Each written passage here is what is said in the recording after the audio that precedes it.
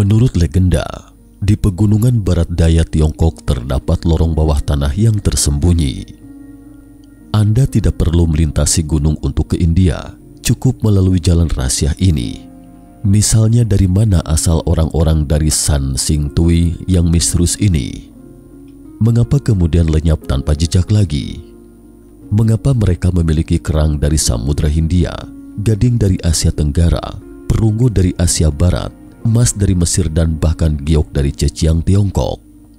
Benarkah ada terowongan rahasia bagi mereka untuk berdagang dengan dunia? Salah satu penelitian mengungkapkan bahwa sebuah gempa bumi hampir 3000 tahun yang lalu diduga menjadi penyebab hilangnya salah satu peradaban kuno Tiongkok secara misterius. Peradaban yang dimaksud ini adalah orang-orang dari San Sing Tui yang diduga telah berpindah ke Cinsa, sebuah kabupaten di provinsi Kuichou Barat Laut Tiongkok sekarang. San Sing Tui adalah sebuah situs arkeologi dan kebudayaan zaman perunggu besar di Kuanghan modern Sichuan, Tiongkok. Orang pertama yang percaya legenda ini adalah Kaisar Wu, Kaisar Tiongkok dari dinasti Han yang keenam, berkuasa dari tahun 141 sebelum Masehi hingga 87 sebelum Masehi. Dia ingin menemukan terowongan ini menuju Afghanistan, membeli kuda untuk menyerang Siung Nu karena Chang Qian pejabat dan diplomat Kaisar Wu dari dinasti Han ketika itu memberitahu Kaisar Wu bahwa dia pernah melihat sejenis kain satin sutra Sichuan di Afghanistan. Untuk diketahui, Xiongnu adalah bangsa kuno berbasis nomad yang mendirikan suatu negara atau konfederasi di Mongolia dan Tiongkok kuno.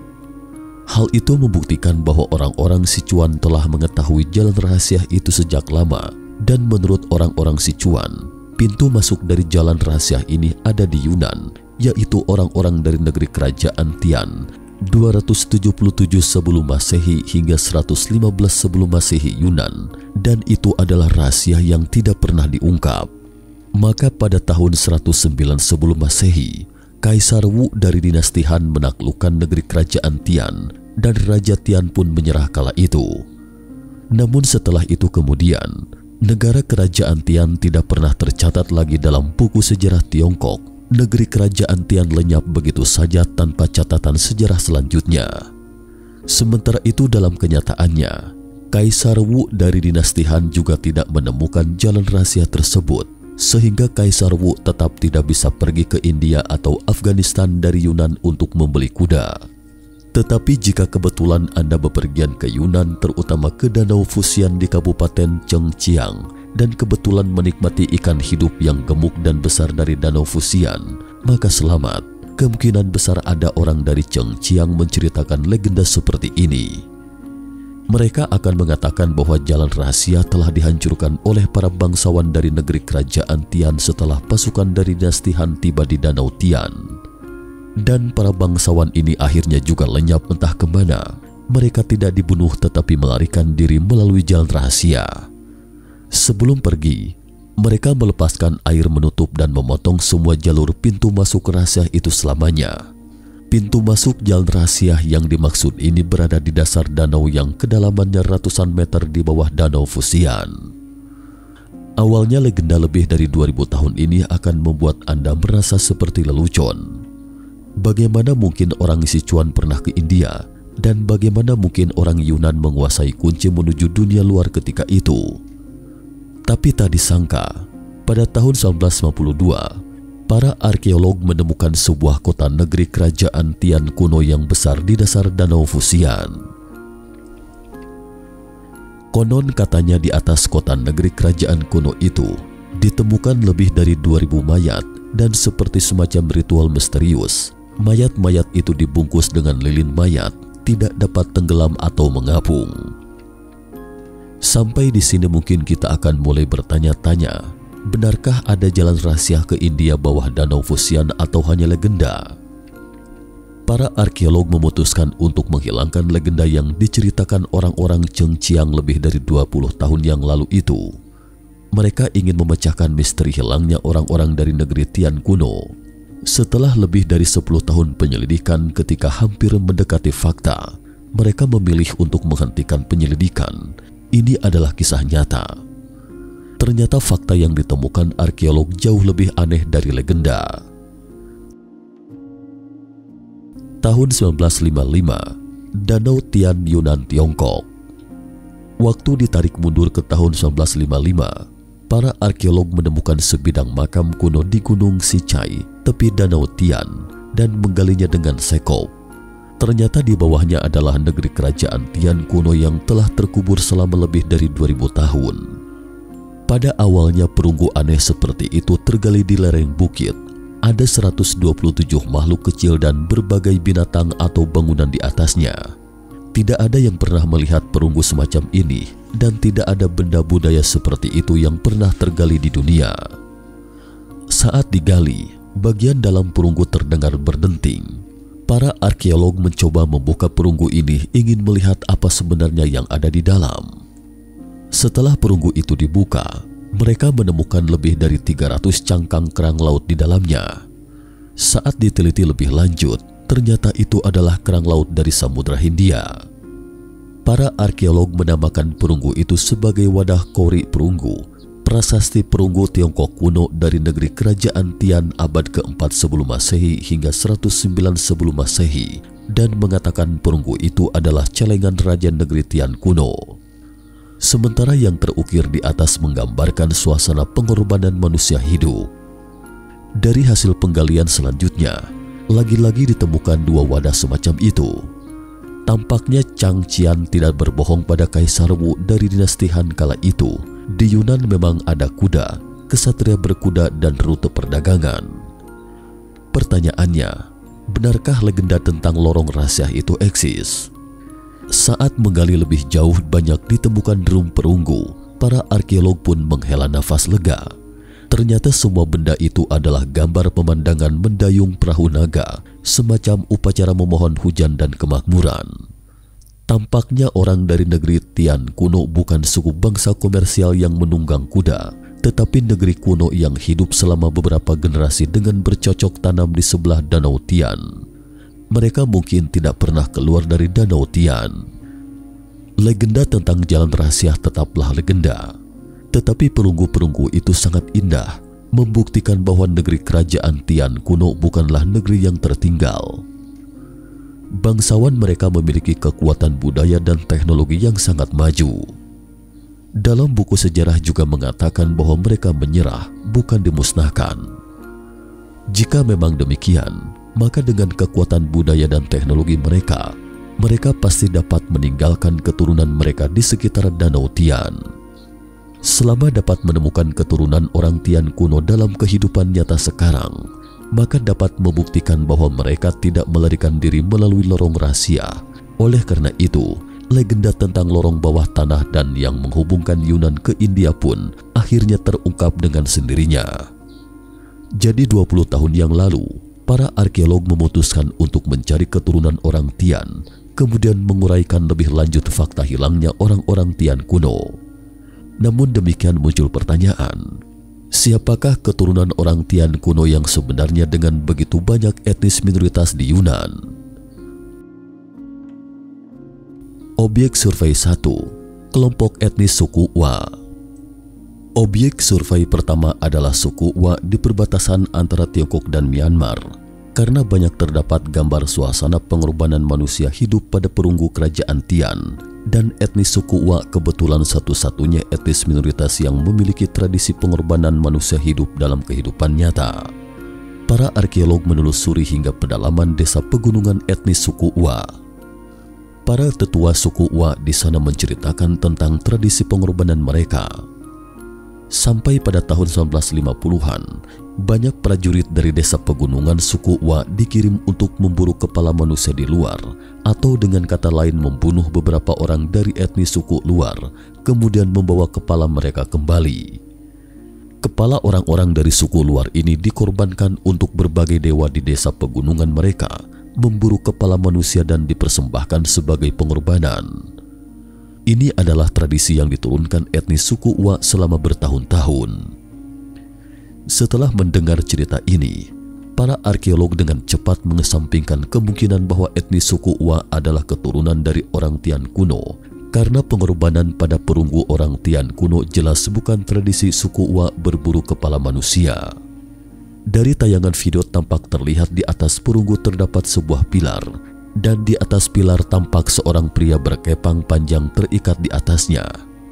Model rambutnya tampak beda dengan orang lain. Ini menunjukkan kemungkinan besar dia adalah tawanan perang dari suku asing.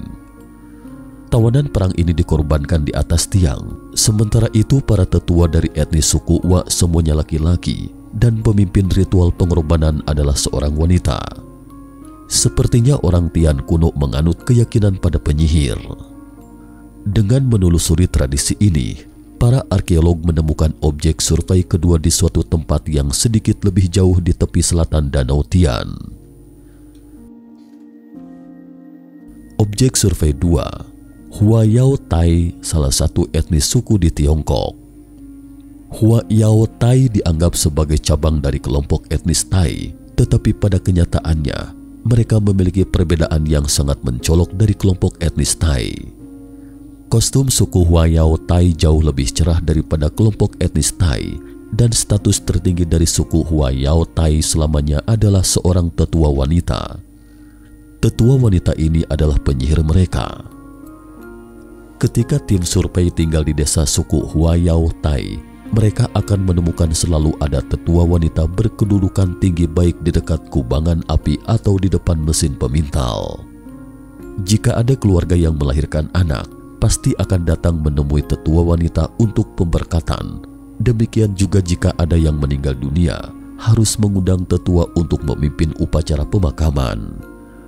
Semua kegiatan sosial di desa harus mengikuti peraturan tetua wanita.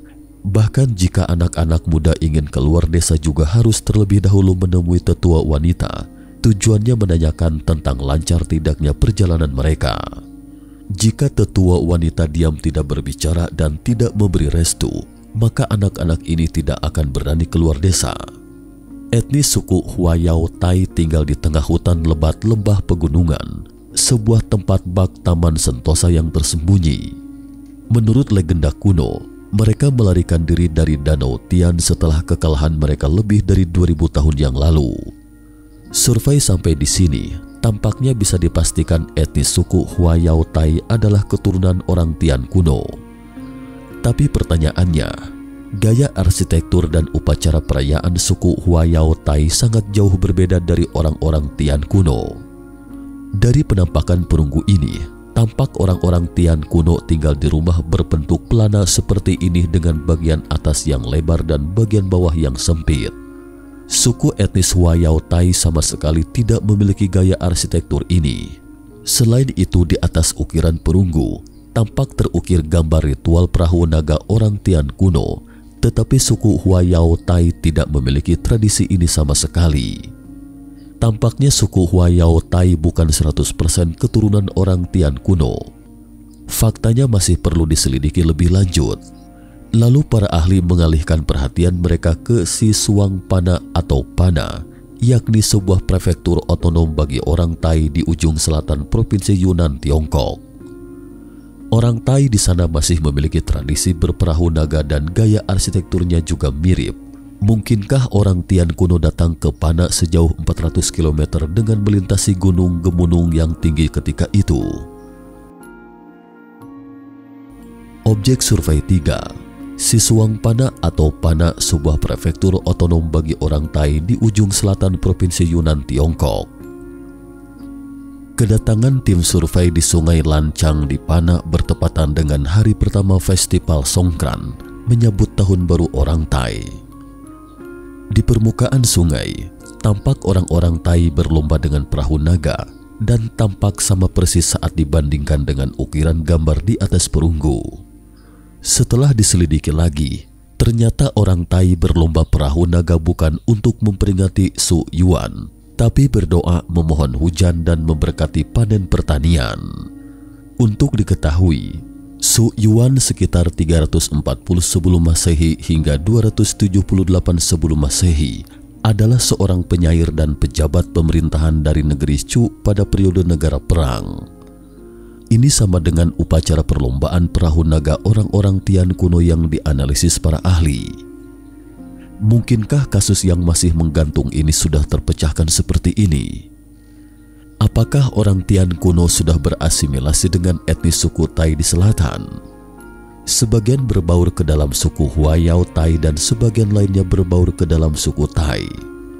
Selain itu juga beberapa tradisi yang belum ditemukan mungkin telah berbaur ke dalam kelompok etnis lain yang kini masih dalam penyelidikan. Jika tidak ada bukti arkeologi baru, para ahli sudah bisa langsung menarik kesimpulan dan legenda tentang lorong rahasia apa pun sudah dapat diungkap.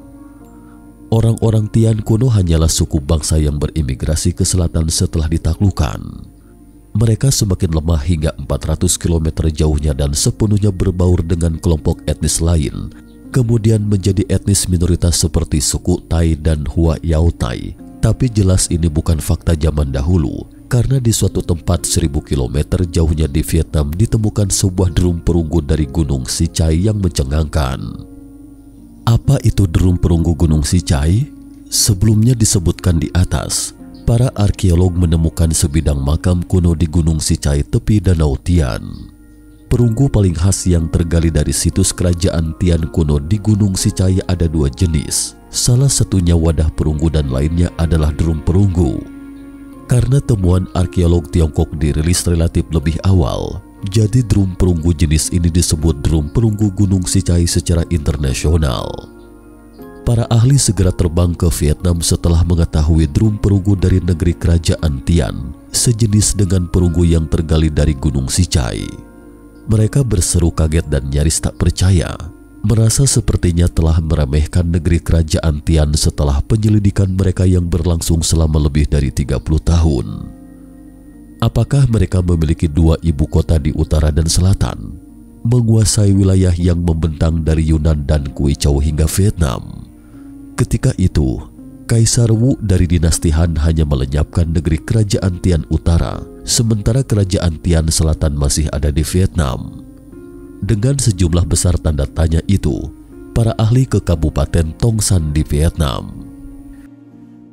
Objek survei 4, Budaya Tongsan Vietnam. Pakar Vietnam mengatakan bahwa sejak tahun 1924, tim arkeolog Prancis menemukan banyak perunggu di Kabupaten Tongsan. Menurut arkeolog Prancis, itu adalah peradaban kuno Vietnam dan menamakannya budaya Tongsan pengaruh budaya Tongsan sangat besar, hampir mencakup seluruh Vietnam Utara. Lebih dari 1.500 perunggu budaya Tongsan tergali satu demi satu. Hanya perunggu ini saja tergali lebih dari 30 perunggu. Seorang ahli Vietnam bernama Nguyen Van Viet mengatakan ketika dia sedang meliti drum perunggu ini, dia seakan bergumam bukankah ini drum perunggu Gunung Sicai. Tidak hanya bentuknya yang sama persis, material tembaganya juga sama. Demikian juga seni ukirnya sama persis. Bahkan pola di atasnya juga sama persis. Juga ada ukiran perahu naga dan rumah berbentuk pelana dengan bagian atas lebar serta bagian bawah sempit. Bahkan bentuk perunggu yang tergali memiliki gaya rambut yang sama. Sebenarnya apa hubungan antara budaya Tongsan dan orang Tian kuno? Pakar Vietnam lebih cenderung berpikir bahwa orang Tian kuno melarikan diri ke Vietnam dan membangun kembali peradaban mereka di sini. Tetapi migrasi besar-besaran semacam ini yang membentang seribu kilometer dan harus melintasi pegunungan tinggi Yunan. Mungkinkah? Apa konsep seribu kilometer di Yunan? Mengapa ada begitu banyak etnis minoritas di Yunan? Karena di Yunan cukup dengan satu gunung untuk memisahkan dua kelompok etnis sejauh lebih dari 10 km sudah bisa memutuskan komunikasi mereka secara turun-temurun, membuat mereka secara bertahap menjadi dua etnis suku. Sementara di Yunan yang melintasi 1000 km pegunungan dan melihat peta seakan orang Tian kuno sedang bercerita bahwa jalan rahasia itu tidak hanya dapat menuju ke India, tetapi juga menuju ke Vietnam. Mustahil pasti ada jalur perdagangan antara kerajaan Tian kuno dan budaya Tongsan. Para ahli mengalihkan objek survei kembali ke etnis suku Huayao Tai dan akhirnya menghela napas lega. Ternyata tempat tinggal suku Huayao Tai disebut Yuan Chiang. Setelah Yuan Chiang keluar dari Tiongkok, itu disebut Honghe atau Red River. Sistem drainase Yuan Chiang Hong He atau Sungai Merah ini seperti jalan rahasia yang bersembunyi di pegunungan. Meski sudah lama tertutup untuk pelayaran, tapi pada zaman kuno, memang mungkinkah bagi orang Tian kuno untuk bermigrasi ke Vietnam melalui sistem perairan ini? Tampaknya Hua Yao Tai adalah tempat peristirahatan bagi orang-orang Tian kuno. Mereka tidak membawa pergi penyihir. Para penyihir yang mengenakan kostum megah itu selamanya tinggal di hutan lebat lembah pegunungan dan menjadi etnis suku Hua Yao Tai sekarang. Sementara kaum laki-laki membangun kembali peradaban setibanya mereka di Tongsan, Vietnam. Apakah ini fakta yang lengkap?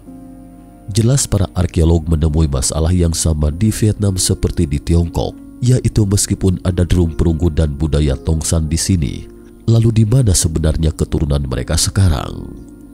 Tak satu pun dari berbagai etnis minoritas di Vietnam tinggal di rumah berbentuk pelana dengan atas lebar dan sempit di bawah Apalagi bentuk rumah bundar yang terukir di drum perunggu Tongsan itu tidak ada di atas ukiran drum perunggu Gunung Sicai. Namun rumah bundar semacam ini telah dilestarikan di Vietnam. Mungkinkah tujuan migrasi orang Tian kuno bukanlah Vietnam atau Vietnam hanya sebuah benteng mereka di selatan? Setelah runtuhnya kerajaan Tian Utara, para bangsawan kerajaan Tian Selatan juga terkena pukulan telak sehingga mau tidak mau harus mengikuti bangsawan dari kerajaan Tian Utara masuk ke jalan rahasia, mundur ke tempat yang lebih jauh. Faktanya semakin kabur, sebaliknya legenda jalan rahasia malah semakin jelas. Tetapi bersamaan dengan itu, terdengar kabar yang lebih jauh dari selatan Kamboja, yakni ditemukannya peninggalan benda budaya kerajaan Tian kuno yang tak terduga di sana. Objek survei 5 situs budaya di Kamboja. Dr. Andreas Reineck dari Institut Arkeologi Jerman menuturkan bahwa ketika mereka tiba di Kamboja, situs budaya di sana telah digali oleh perampok makam, namun beberapa drum perunggu dari Gunung Sicai berhasil diselamatkannya. Awalnya beberapa drum perunggu ini hanya menunjukkan bahwa orang-orang Tian kuno di Tongsan Vietnam mungkin telah pindah ke Kamboja. Meskipun jalan ini merupakan hutan hujan tropis, tetapi masih bisa dilalui. Namun kemudian dokter Andreas menemukan setiap drum perunggu yang digali itu berisi kepala manusia. Ini adalah sesuatu yang tidak ditemukan di drum perunggu dari Vietnam, bahkan sebagian besar drum perunggu dari Gunung Sicai sekalipun. Apa arti kepala manusia di drum perunggu ini? Itu adalah penguburan ikat kepala Artinya gendang perunggu ditambatkan di atas kepala si mayat ketika dikubur. Tradisi semacam ini paling banyak ditemukan pada penduduk di Kelesiang, Provinsi Kuichou, Tiongkok. Di balik budaya ini dapat ditemukan pada negeri kuno yang misterius yang erat kaitannya dengan negeri kerajaan Tian kuno dalam catatan buku-buku sejarah Tiongkok, yakni Kerajaan Yelang, semasa periode negara-negara berperang 298 sebelum Masehi hingga 262 sebelum Masehi Tiongkok kuno. Bagaimana ceritanya drum ikat kepala Yelang sampai dikubur di makam kuno Kamboja itu? Tidak ada yang bisa menjawab pertanyaan ini. Tidak ada yang bisa menjawab pertanyaan ini selain jalan rahasia dalam legenda. Tampaknya ada sebagian dari legenda yang belum diceritakan, yakni selain mereka yang melarikan diri ketika itu dengan para bangsawan dari kerajaan Tian kuno, masih ada saudara mereka bangsawan Yelang. Mungkinkah mereka memasuki bawah tanah dari pintu masuk di bawah Danau Fusian dan ketika mereka kembali ke permukaan, mereka sudah tiba di Kamboja? Rasanya terlalu berlebihan dan mustahil para ahli kembali mengalihkan topik penyelidikan lagi ke etnis suku Tai karena sebelumnya sudah ada penjelasan terkait jalan rahasia di atas, yaitu tempat tinggal Hua Yao Tai yang disebut Yuan Chiang, kemudian dinamakan Hong He setelah keluar dari Yuan Chiang. Tapi kali ini para ahli mengatakan bahwa tempat tinggal orang Tai bernama Sungai Lancang, Muara Mekong Tiongkok. Kemudian menjadi Sungai Mekong setelah keluar dari Sungai Lancang dan kebetulan tidak jauh dari muara sungai Mekong. Bersamaan dengan itu, tim survei tiba-tiba mendapat petunjuk yang lebih mencengangkan. Pasalnya ada yang mengatakan bahwa keturunan asli dari kerajaan Tian kuno ditemukan di Pulau Sumatera, Indonesia. Bagaimana mungkin ini sudah jauh melintasi Samudra Hindia? Namun para ahli akhirnya terbang juga semalaman ke Medan, kota terbesar di Sumatera. Setelah menempuh perjalanan tanpa henti selama enam jam, akhirnya mereka tiba di tempat tujuan yaitu Danau Toba. Objek survei 6 Danau Toba, Sumatera, Indonesia Danau Toba adalah danau air tawar terbesar di Asia Tenggara. Ada pulau lain di tengah danau yang disebut Pulau Samosir. Etnis suku yang menghuni pulau itu adalah orang Batak, dan ketika para ahli mendarat di Pulau Samosir, langkah kaki mereka terhenti seketika saat melihat bangunan, tarian dan kostum di sini persis sama dengan ukiran gambar pada perunggu kerajaan Tian. Rumah ini berbentuk bolon dengan atap seperti pelana kuda. Bagian atasnya lebar dan sempit di bagian bawah, sama persis dengan gambar ukiran di perunggu, tetapi tidak ada ukiran seperti itu di perunggu yang tergali di seluruh Yunan, Vietnam, dan Kamboja. Pola-pola yang indah diukir pada balok-balok di sekitar rumah. Pola kuno ini sekilas mengingatkan para ahli tentang bentuk yang sama pada perunggu yang disebutkan sebelumnya. Menurut cerita orang Batak, pola-pola ini mengandung aspek magis dan religius, melindungi penghuni dari nasib buruk. Pilar di tengah alun-alun diukir dengan kepala manusia. Pada tahun 1816, misionaris Belanda tiba di Pulau Samosir untuk menyebarkan Injil dan membuat orang Batak meninggalkan tradisi pengayuan dan pengorbanan.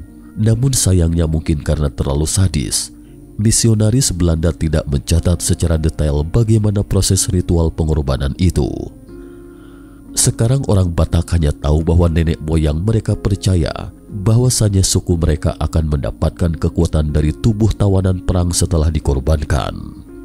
Para ahli kemudian menyelidiki tarian orang Batak. Tarian mereka sangat unik, seperti gaya arsitektur mereka sama sekali berbeda dari suku-suku lain di sekitarnya. Menurut para ahli, bahasa maupun tarian orang Batak bagaikan jelmaan dari ukiran gambar perunggu kerajaan Tian kuno. Momen-momen yang membeku ribuan tahun pada ukiran gambar perunggu kerajaan Tian kuno itu seketika bangkit kembali di desa orang Batak. Sungguh pemandangan yang luar biasa. Para ahli kemudian memutuskan mengeluarkan satu benda terakhir untuk melihat reaksi orang Batak karena tidak ada yang mau percaya bahwa orang Batak adalah keturunan orang-orang dari kerajaan Tian kuno. Jika demikian halnya, selain jalan rahasia yang dilegendakan, apalagi yang memungkinkan orang Tian kuno menyeberangi Samudra Hindia ke desa orang Batak, maka para ahli memutuskan untuk ikut dalam pemakaman orang Batak karena masyarakat Tian kuno memiliki tradisi pemakaman dua kali, Artinya 3 sampai 5 tahun setelah pemakaman, kerabat akan menggali kembali tulang belulang mendiang dan mengadakan pemakaman yang lebih megah. Dengan begitu perjalanan hidup mendiang baru dianggap selesai setelah dua kali pemakaman. Tradisi pemakaman dan filosofi kematian semacam ini terkesan unik di dunia. Mereka bahkan mempertahankan tradisi ini hingga sekarang. Disaksikan oleh para ahli, orang Batak dan nenek moyang mereka bersatu kembali dengan cara yang istimewa ini. Sampai di sini para ahli yang mengikuti upacara itu hanya bisa termangu dan tercengang. Bagaimana menjelaskan penyeberangan dari Danau Tian ke Danau Toba dari orang-orang Tian kuno sampai ke orang-orang Batak ini? Sampai di sini penyelidikan, seperti legenda yang sedang menertawakan imajinasi orang-orang modern. Jalan rahasia di pegunungan Yunan yang terpencil itu tidak hanya dapat menuju ke India. Orang-orang Tian kuno bukan hanya memegang kunci menuju dunia. Siapa tahu Anda akan menemukan sebuah peradaban megah yang hilang ketika memasuki dunia bawah tanah dari pintu masuk di bawah Danau Fusian. Dunia bawah terhubung dengan jalan masuk yang tak terhitung jumlahnya dan seketika keluar tanpa sadar Anda telah melintasi Samudra Hindia dan tiba di Sumatera. Terakhir orang Batak mengusulkan untuk membandingkan semua fakta itu dengan teknologi DNA. Namun para ahli menolak. Di permukaan para ahli mengatakan, sangat disayangkan DNA orang Tian kuno telah rusak oleh rendaman tanah asam. Saat ini belum ada sampel DNA orang Tian purba yang berhasil ditemukan. Tetapi pada kenyataannya, Mungkin dunia kita masih butuh kemisteriusan semacam ini dan sambil melihat rute migrasi misterius orang Tian kuno yang diselidiki oleh para ahli secara real ini, mungkin San Hai Ching memang merupakan geografi dunia. Tuhan telah memberikan manusia rasa ingin tahu yang paling kuat dan ketahanan maraton yang terbaik. Di zaman kuno, kita menggunakan rasa ingin tahu ini untuk menjelajahi dunia tetapi sekarang kita justru menggunakan rasa ingin tahu ini untuk membuktikannya. Kitab klasik pegunungan dan samudra adalah pembungkus dari beberapa gunung di Henan itu. Nah pemirsa, cukup sekian dulu topik kita hari ini. Jika suka dengan video mata ketiga, jangan lupa like, subscribe, dan share. Terima kasih atas perhatiannya dan sampai jumpa di episode berikutnya.